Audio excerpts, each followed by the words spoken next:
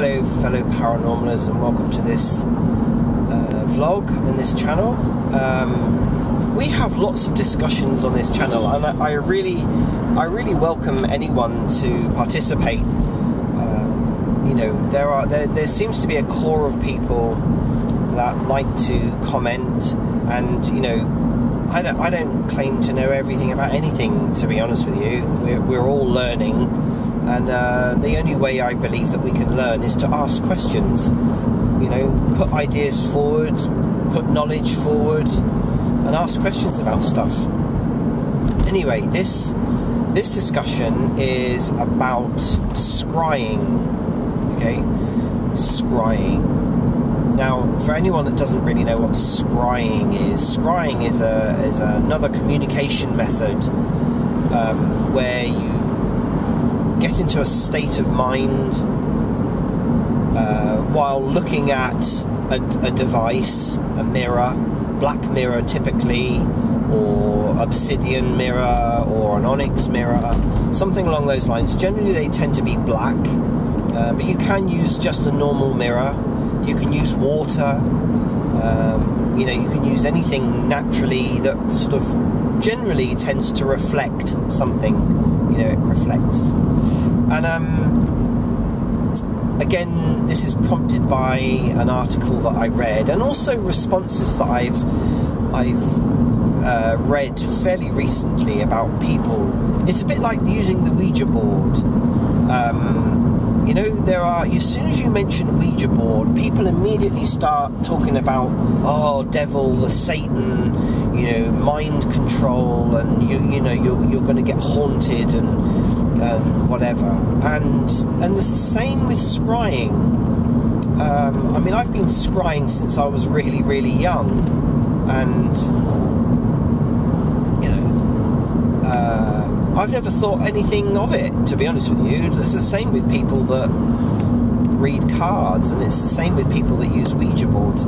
There's there's a level of ignorance, um, I think, and a, and a massive lack of education on the part of some people who make comments like, "Oh, you will possess be possessed by the devil if you use a Ouija board," or you know, you, you use a scrying mirror, and I find it quite entertaining that people would think like that. Now, on the flip side, which is about what this is going to talk about now.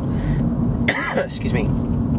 On the flip side of that, I can see how using devices like that are can be, if you like, harmful, or they they can actually have a negative effect. Okay. Now, like most things, and now this doesn't just apply to scrying but from a psychological point of view, like most things, if you go into doing anything, if you try to, let's say you, you, you want to, you know, do a project of some sort, if you go with it with the attitude of, excuse me, if you go in with the attitude of, oh, this is not going, oh, sorry, this is not going to work and it's going to fail, or you know, I'm going to be possessed by the devil, or I'm going to be talking to, you know, whatever, then guess what? Your brain will tell you that that's going to happen. And that is what usually happens. Because you've already thought that that is going to happen. If you are a depressed, you know, person that suffers from depression and negative thoughts and, things that, that you know, um, from a psychological point of view, have a negative effect on your physiology and your mind, your subconscious, then, if you like, negative things are going to happen to you. Bad things, or you know, are, are, are going to happen. So if you go in with that mindset of, you know, this is this is dangerous, uh, this is going to harm me, you know, this could do something to me um, you know, it then guess what? It will. It will have that effect. And this is this is the mistake people make when they they make assumptions about certain things. I mean, you know, if if you were to drive a vehicle, drive a car, always thinking that round the corner you could die, or that you are going to die in a car accident, well, guess what's going to happen? Your your mind will make sure that that, that will happen. Your brain will, you know, if you keep telling yourself stuff like this, then that's what's going to happen. If people actually really believe that Ouija boards and um, scrying mirrors and dowsing and fortune telling and all of these other things are bad, then that's what's going to happen to you.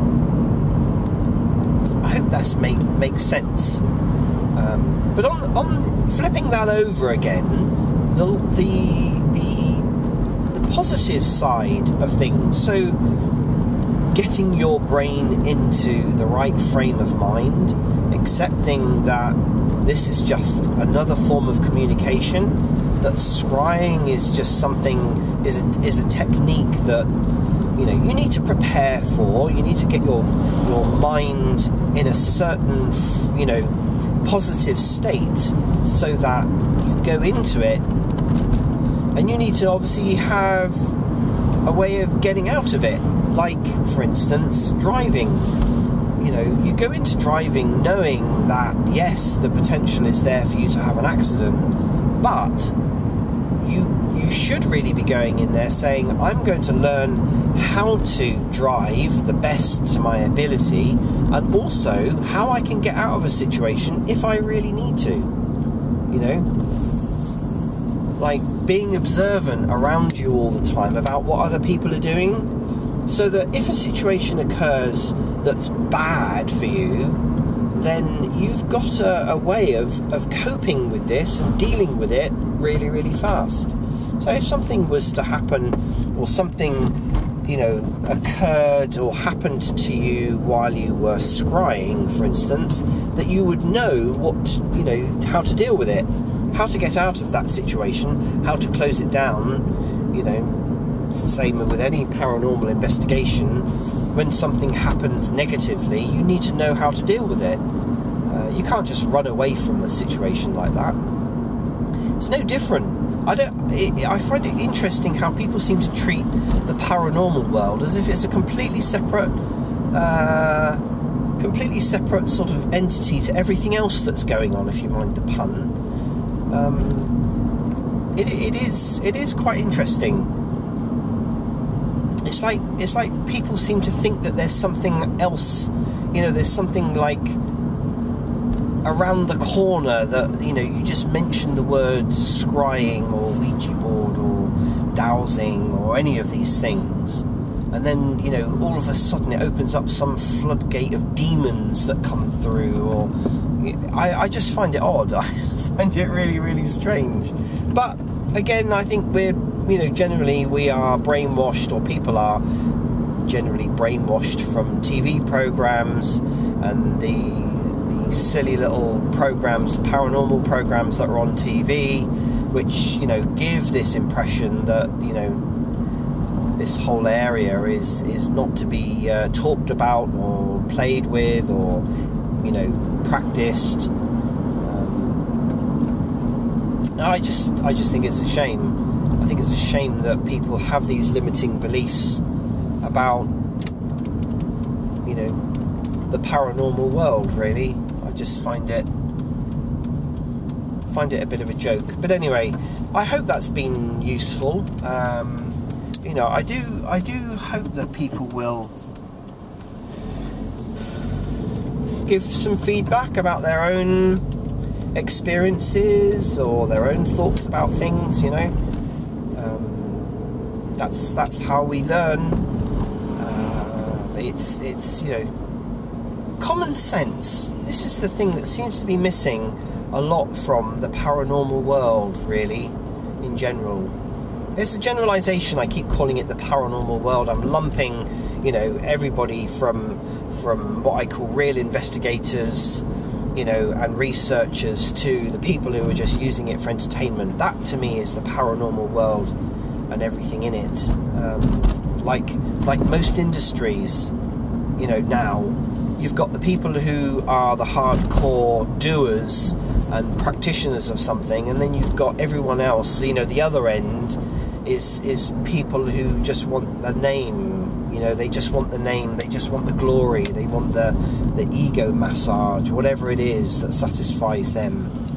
The other the other end, and you can apply that to just about everything. You know, you can apply that to any industry, hobby, um, interest. You know, that's going that. Um,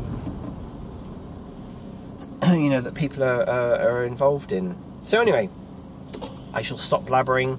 Thank you very much for watching, and uh, I shall see you again in another video.